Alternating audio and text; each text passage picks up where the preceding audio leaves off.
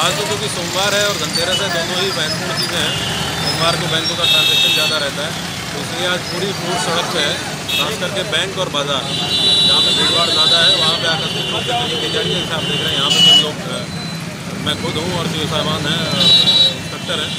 खास करके जो दो दो पहिया सवार हैं, जो अक्सर महिलाओं के साथ जो स्नैचिंग वगैरह की घटनाएँ कर देते हैं, उनको हम लोग फोकस करके चेक कर रहे हैं। और लगातार ये पेट्रोलिंग बनी रहेगी सौ नंबर की गाड़ियाँ हैं भी लगे हुए हैं जगह जगह पर इंश्योर कराया जाएगा कि शाम तक लोग देर रात तक खरीदारी करेंगे किसी भी प्रकार की कोई भी कोई बात ना। पूरे ज़िले में लगभग कितने सीसीटीवी कैमरे लगाए गए हैं? चौवन सीसीटीवी कैमरे जो महत्वपूर्ण मार्केट है उनमें टेम्परेरी रूप से लगाए जाते हैं जब त्यौहार होता है वो इस बार भी हमने लगवाए हैं।